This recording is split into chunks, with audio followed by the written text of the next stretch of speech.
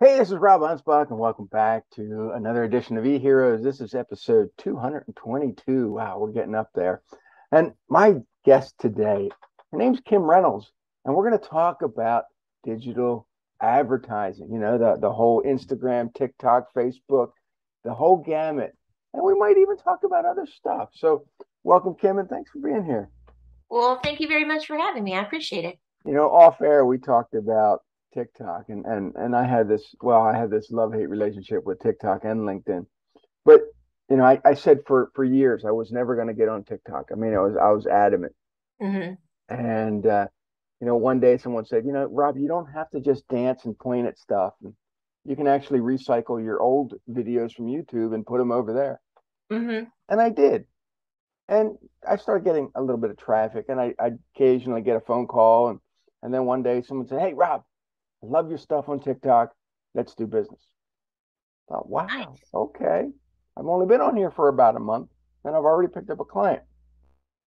But, you know, I, I think that we we like you said, you know, we can't be everywhere. We can't Right. be on all these networks.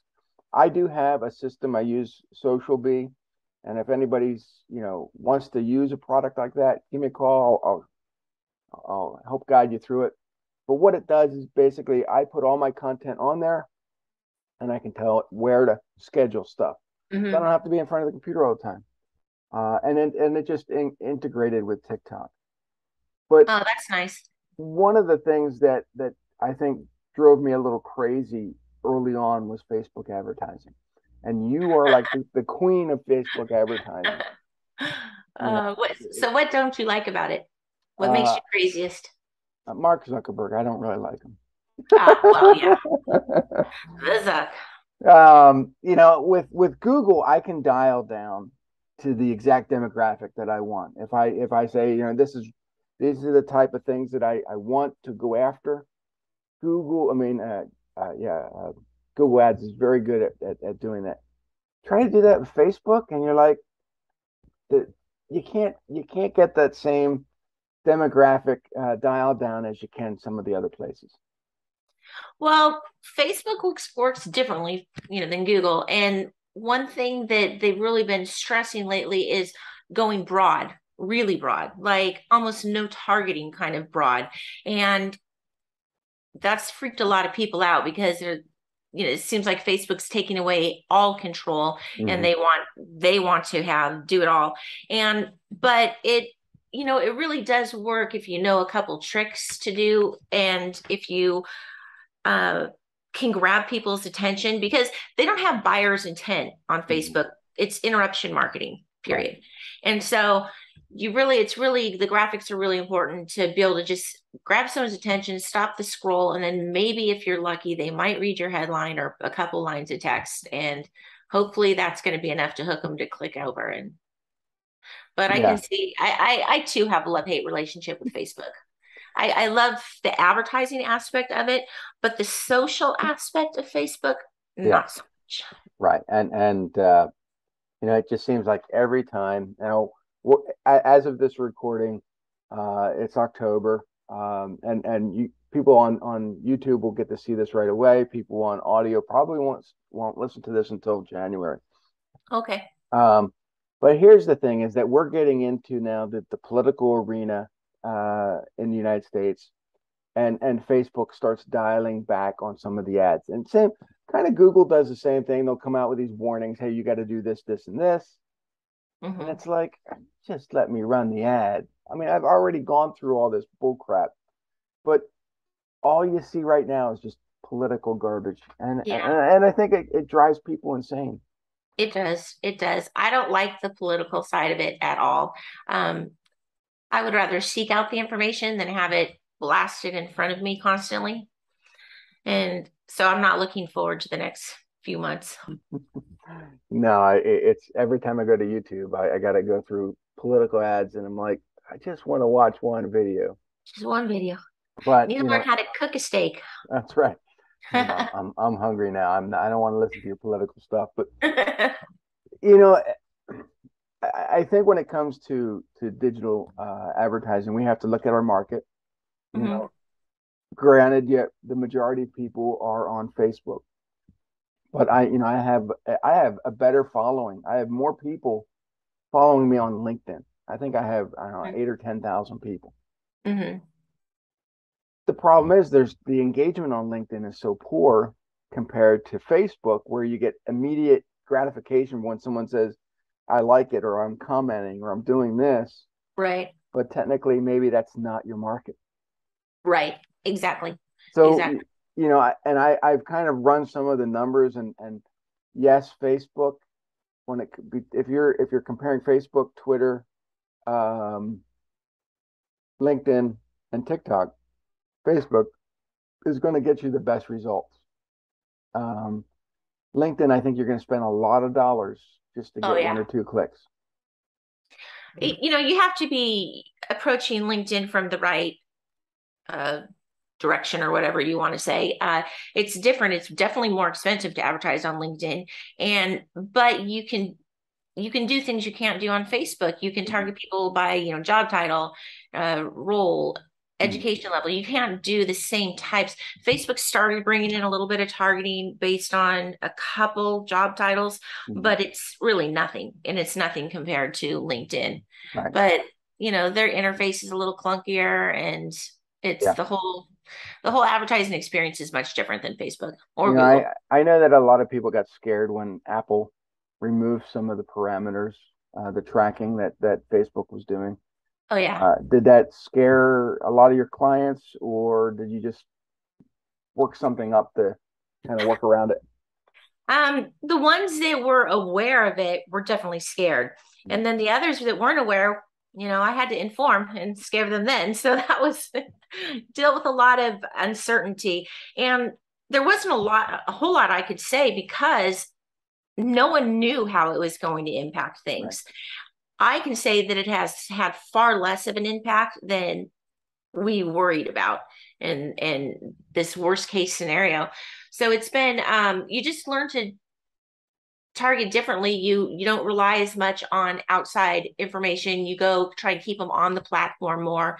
And Facebook, if you've noticed, is very sneaky about this, but I love it if when you click on somebody's ad in their website the link opens within the facebook interface it's mm-hmm. your it's that website but it's within the facebook interface so what i'm thinking is since it's still within facebook they're still tracking mm-hmm. and um I thought that was kind of a genius workaround. I mean, because I like good ads. I don't mind being served ads. I especially, I mean, I've bought so much stuff off of Instagram. so I I like good ads and right. I like ads that are tailored to me. So I always say, yes, go ahead and track me. I don't have an issue with it because I'd rather that than get some ad for a hair loss product or, you know, whatever. Right. I mean, and, and sometimes I'll go through and, and I'm like, that ad doesn't even pertain to me. And I'll go in yeah. and click it. It's irrelevant. I don't want to see it again.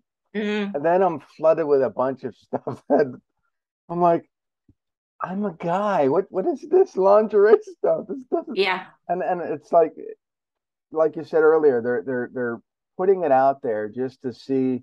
I, I think maybe they're building an audience, building mm-hmm. some type of so that that they they they're showing this ad to people, and they're building this audience, and then they can retarget them later.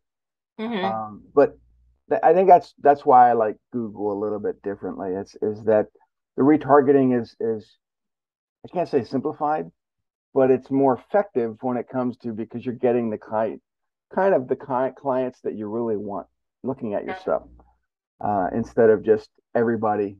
You know, hopefully, hey, oh yeah, I'm on Facebook. You know what? I'm just going to click this ad. I know it doesn't really pertain to me. I want to see what happens. what happens? Yeah, we don't like that. Oh, don't like that happen. And then you get served those same ads over and over.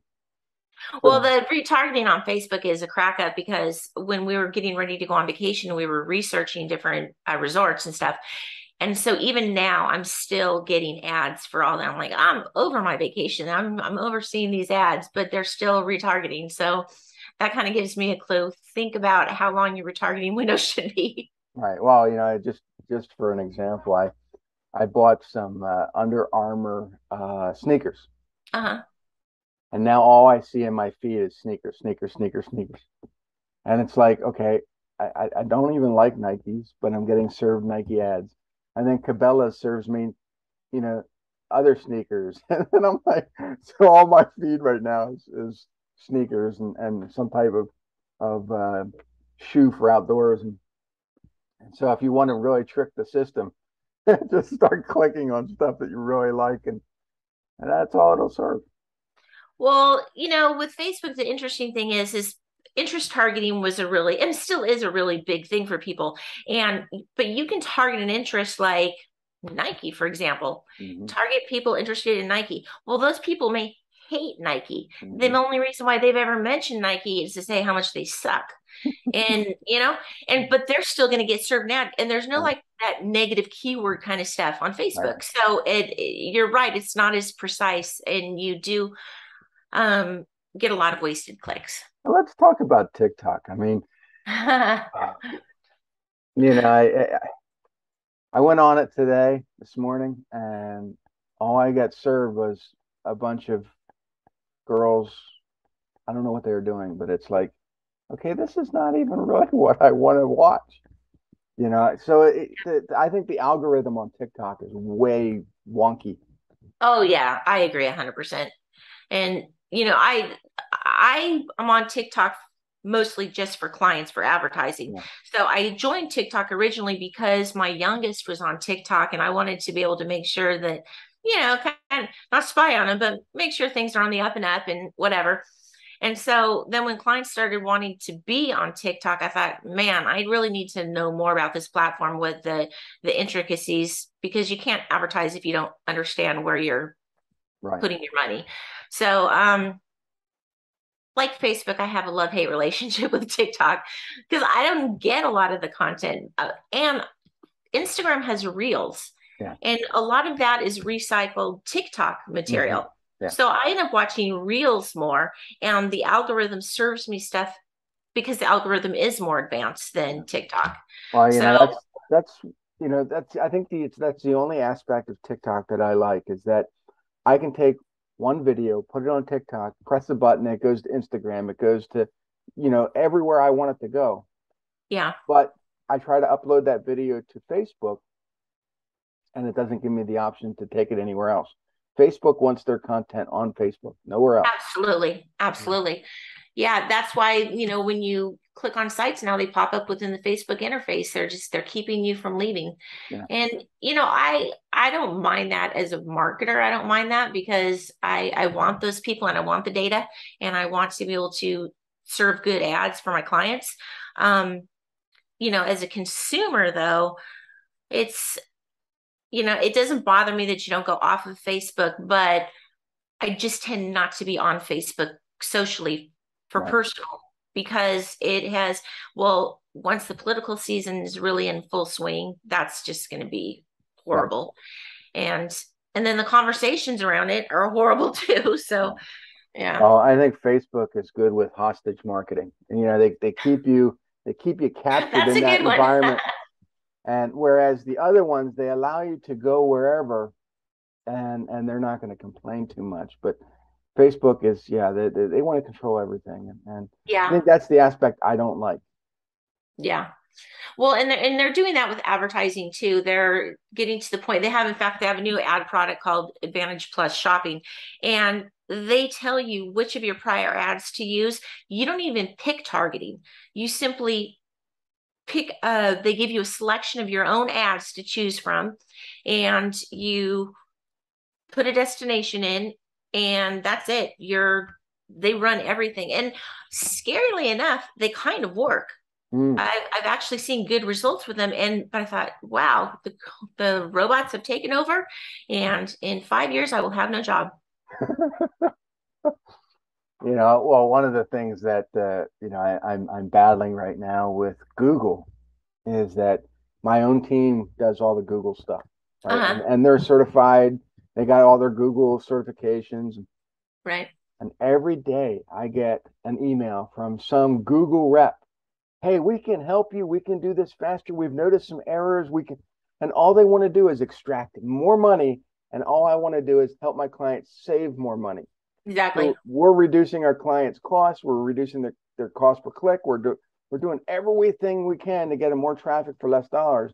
And Google's like, no, no, no, we want more money. Oh, always. And and always. I'm getting this email. My client's getting the email. They're contacting me and going, Rob, what the hell? Well, yeah, especially if, if Google's saying, well, it can be done better. That's, right. I mean, that's the worst thing. Facebook does the same thing. They yeah. do the same thing. They get on there say, oh, let's have a call. You get on a call and Facebook proceeds to go through everything that they see is wrong with the campaign. Well, guess what? Not you know best practices on facebook are not always what facebook wants to dictate right. and so a lot of times you do things different based on experience and then you get the rep in there telling your client well it should be done this way and it's very annoying yeah i mean so you and i have been in this space for a long time and, and i yeah. kind of got into this space because i had a previous company and and and everything that that i was doing wrong there i learned and then as i started you know and then i sold that business and started helping my clients uh, this is what I do now. So, but how did you get into it? Um, I I started out out of you know I graduated college and as a finance major, but then I was introduced to the World Wide Web, and um, I mean literally that long ago before email was even a thing, and I loved it. I immediately thought, wow, this is amazing. And so I started creating websites for myself and putting products on there. So when Google opened up click, pay per click advertising, I hopped on that right away. Loved it, did it for a long time, then had uh, my sixth baby and decided, hey, I need to be at home a little bit more. So I kind of I dropped out of everything for a couple of years. And then um, I hate to admit it, but I just I got bored. I got bored and I needed to go back and do something to stimulate my brain a little bit. And Facebook had started social media advertising. Mm-hmm. And I just loved it from the get go. I, I loved Facebook in the beginning. It's it's my yeah. my love hate relationship is with Facebook. The hate part is more recent than um, in the beginning. In the beginning, I really liked it, but I love the advertising. I still love the advertising, mm-hmm. but I got on to advertise my own business, and that business was a site where um, you could put all of your social links in one place and then mm-hmm. connect it by QR code, and right there you have it. And that didn't work out, but I learned a lot about yeah. Facebook marketing, what yeah, not to I, do. You know, I, I, just made a video the other day about the QR codes, and I've never been a big fan of QR codes. I mean, they've been around for a long, long time. Yeah. And I've never been a fan of business cards or that that third party Linktree thing that I think you were just probably talking about. Mm-hmm. So what I do is I just create an about page for my clients. I put all their social stuff on there. I do this, do add videos, testimonials, reviews, whatever, and then create their QR code and they can put it on their lock screen on their phone. I have mine right here. So when I go to a, when I go to events, people just scan my lock screen. And yeah. it comes up on my website, takes them wherever I want. And and the thing is you can have all kinds of stuff in that and but you control it. You mm-hmm. don't pay you don't pay that third party LinkedIn or that that Linktree. Right. And and, and your QR code no longer works. And yep. um, so you know, no, that's a smart way to handle it. That's the smart way to handle it. You, I think everything that you control has to be, you know, not say um, it's it, it should be your platform. I mean, we don't control Facebook, we don't control Google or Twitter, any of that. Well, if you're Elon Musk, you control Twitter, but he's the only one. Almost, almost. Yeah, almost. He almost controlled it. I'm, I'm, actually I'm excited to see what happens with that because now people are interested in Twitter again. And for a while they're like, gosh, I haven't done an ad on Twitter in probably three years. Yeah, I, no I one wants to advertise on Twitter. I, I stopped. I, I have stuff being auto posted to Twitter, but I haven't engaged with anybody in years on Twitter because it's, it's too chaotic.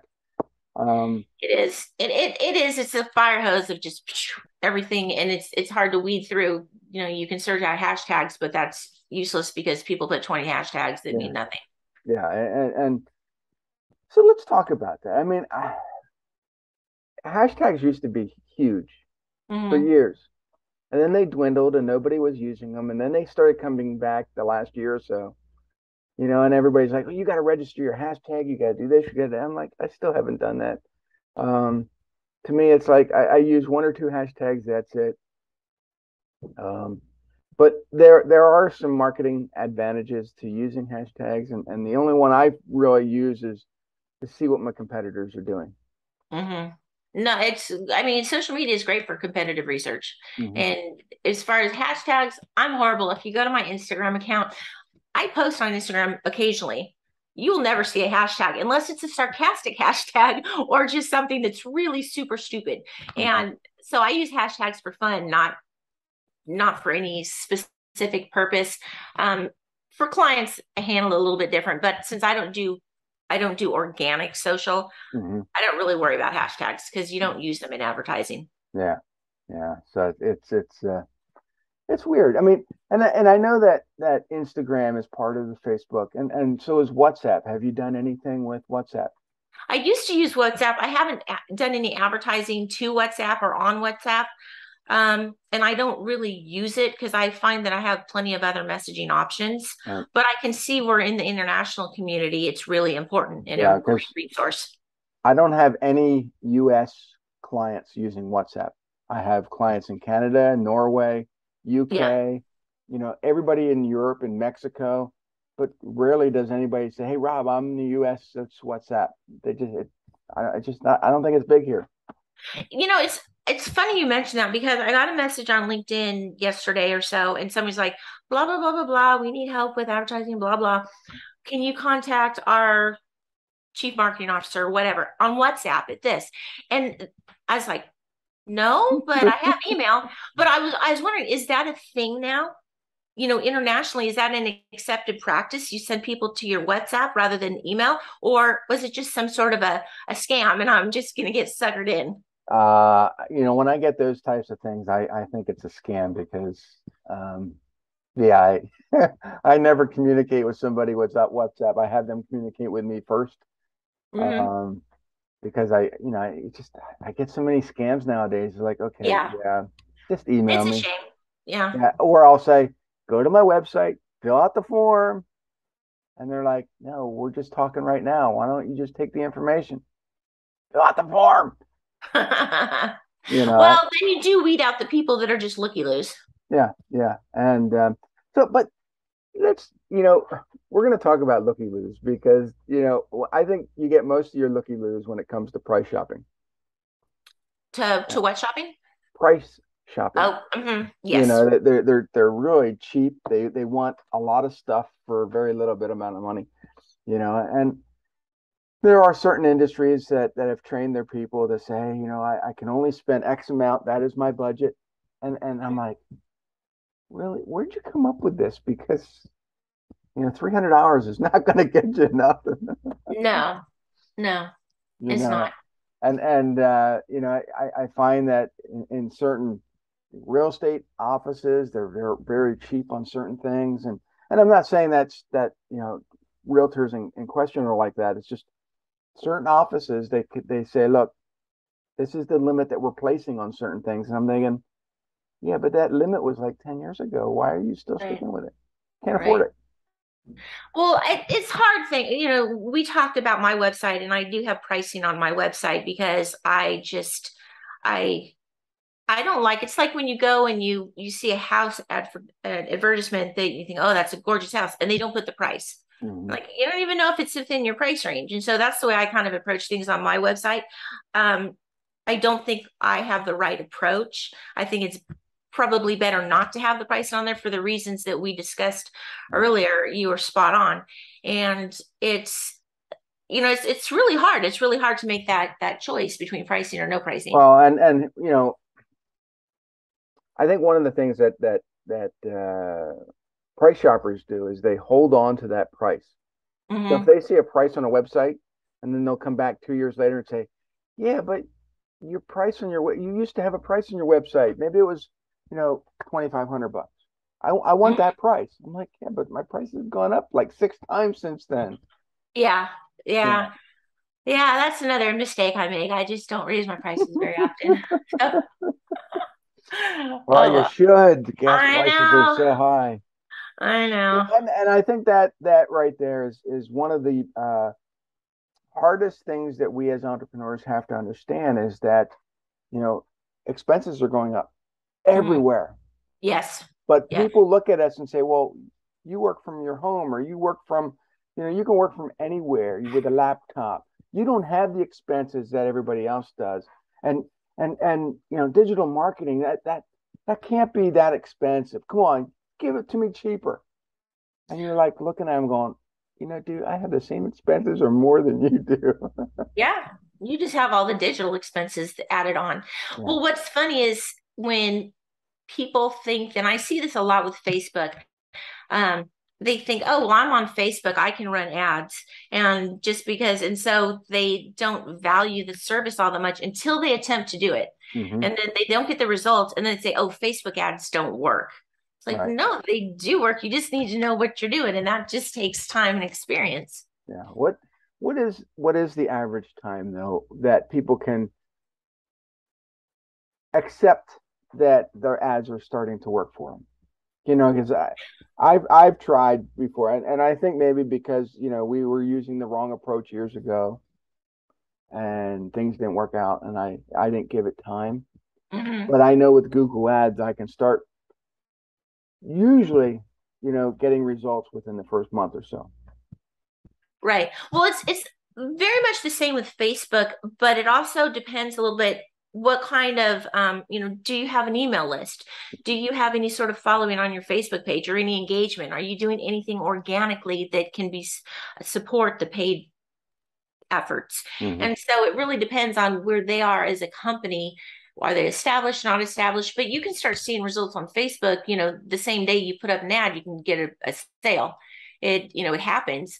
Mm-hmm. um, but but that's only usually for clients that are already pretty well established or they already have name recognition. If you're trying to build up an audience from scratch, it's going to take you a month or two to start right.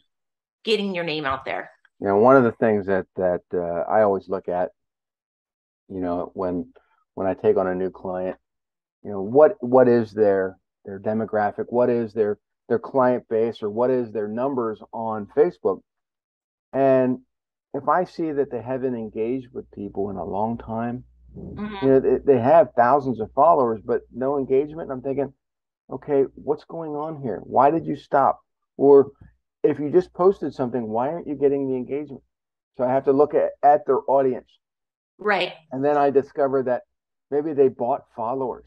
Oh yeah. And yeah. you know, like, okay, where did those followers come from? Because if they didn't come from your local area, they probably came from some area in Mozambique that has, you know, hundreds of thousands of of, of wrong, you know, not English speakers. yeah, not, and and so and and or the accounts are dead. I mean the the because a lot of these these these uh, fan farmhouses, yeah, they use they use computers and create all these different fake um, profiles mm-hmm. and then they use them to follow people. And so yeah it, it's just i i have to go through and then and i explain to the people what happened? What did you do? And oh we bought fans. Why? Well there's a lot of pressure of like i'd say five years ago um, probably was the peak. But there was a lot of pressure that you had to have that social proof. And the only form of social proof was large numbers. Right. And you know that every i say everybody fell into that trap thinking that that facebook and social media in general have evolved and they've matured a bit and grown. So i think that people also users are realizing okay the big numbers aren't as important anymore but mm-hmm. there was a time when they were. Yeah. Yeah it, it's and then i'm i'm not a big fan of of forcing videos to go viral. Um you know i'm a big big proponent of of sometimes less is more. Mm-hmm. And uh, you know, I, I, if if a video that I put out or an ad that I put out, you know, gets one or two clicks and it makes a sale and it pays for the ad itself, right? Great, right. But if the video goes viral and you get nothing from it except, you know, praise from accolades, yeah, yeah, uh, you, you can't take it to the bank. Mm-mm. You know, but, oh, I went viral. Okay, well, did you get a new car out of it? Exactly. Did you make, did you make your mortgage payment? Uh, yes. No. then yeah. it's worthless. Yeah. Well, and that's that's kind of the the issue I have with TikTok is that not only is it really hard to target on TikTok, but the content has to be so unique to TikTok and most brands just don't have that kind of content. Right. So that's that's the biggest challenge with TikTok for me. Yeah. Um, I, I think one of the, the, the big things for me is is um, brand brand dilution. You know, you, you you act a certain way on Facebook or LinkedIn, then you get on TikTok and you're dancing and pointing and doing this, and people are like, "But that's not the person I know." Right. You have to be consistent with your brand voice. Yeah. And um and and that's part of what makes TikTok so hard is because it is the pointing and the dancing and the being goofy that gets the attention. Yeah. And most people aren't going to TikTok for the same type of content that they would maybe go to YouTube for or Instagram. Yeah. Yeah. I, I, I noticed that lately though, the even all the algorithms on, on Instagram are, are crazy. Uh, I'm not getting served ads on Instagram like I am everywhere else, um, but it is there, and um, I think people should be aware of it. Um, and and I've heard that Instagram is is a little cheaper, but yeah. you know I, I don't know the the uh, the the results. Well, Instagram really is just an extension of Facebook advertising because it's simply another placement. Like you can you have ads and they can show up in your newsfeed or they can show up in your messages or mm-hmm. ads can show up in a variety of different places and Instagram is just another placement. So, um the cost Instagram can be you know maybe getting a click off Instagram might be a little cheaper than getting a click off of Facebook but oftentimes it's a little more expensive but it's a better click a better quality click mm-hmm. so it just really it it depends. It depends on where it is. But in general tiktok i would say is the cheapest traffic you can get. They're just the the cost per thousand is just a few bucks. And linkedin is the most expensive. And facebook falls somewhere in between. And each platform is so incredibly different. And you just your audiences are different on each platform. But for me, I think TikTok right now is the low hanging fruit. Yeah, it, it's it's the you're you're you're not going to spend as much money on TikTok, but you're not going to get the quality of of client that you really want.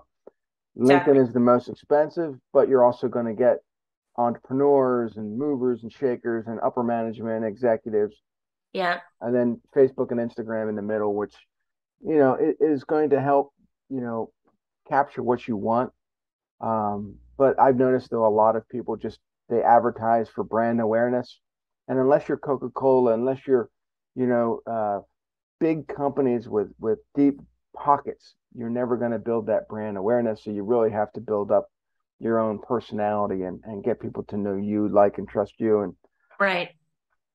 Well, I think I think one mistake people make with advertising is they go after the cheap clicks and they want to get the cheap traffic and lots of traffic to their website.